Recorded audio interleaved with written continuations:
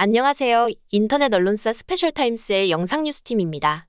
이번 소식은 버추얼 가요 톱10 알렉사. 25년 만에 부활한 KBS 가요 톱10 MC 낙점 관련 뉴스입니다. KBS 측은 지비레이블 소속 가수 알렉사가 KBS 버추얼 가요 톱10에 MC로 합류한다라고 밝혔다. 종영 25년 만에 유튜브로 부활하는 버추얼 가요 톱10은 글로벌 차트 기반의 worldwide 음악 방송이다.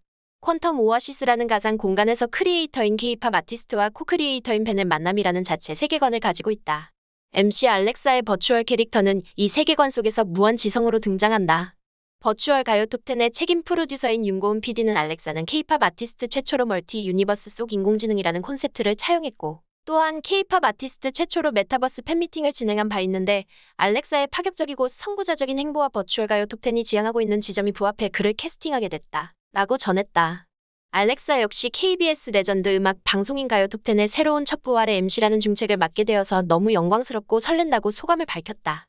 한편 알렉사는 최근 미국 NBC 아메리칸 송 콘테스트에서 56명의 경연자 중 유일한 K-팝 아티스트로 출연, 자신의 고향인 오클라호마주를 대표해 경연곡 원더랜드 무대를 선보였다.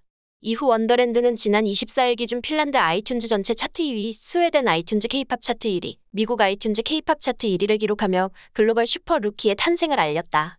또한 각종 소셜 미디어에서도 경쟁자들보다 몇 배 이상 차이 나는 월등한 조회수로 화제성을 입증하고 있다. 이에 지비레이블 김준홍 대표는 미국 NBC 채널의 야심작인 아메리칸 송 콘테스트에서 K-팝의 위상을 떨칠 수 있어 영광이고 가슴이 벅차다. 다양한 K-팝 뮤직비디오를 제작해오며 K-팝의 최전선에서 전쟁을 치르듯 살다 보니 어느덧 20년이란 시간이 흘렀다.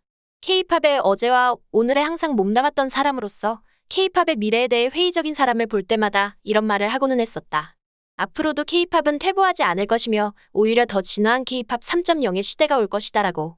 이제는 알렉사가 그 꿈을 실현시킬 수 있도록 모든 지원을 다 할 것이다라고 전했다. 또한 버추얼 가요 톱10의 전체 제작을 진두지휘하는 자니브로스의 대표이기도 한 김준홍 대표는 획기적인 K-팝 음반 콘텐츠인 버추얼 가요 톱10으로 K-팝을 전 세계에 더 널리 알리는 온 힘을 다하겠다고 소감을 전했다.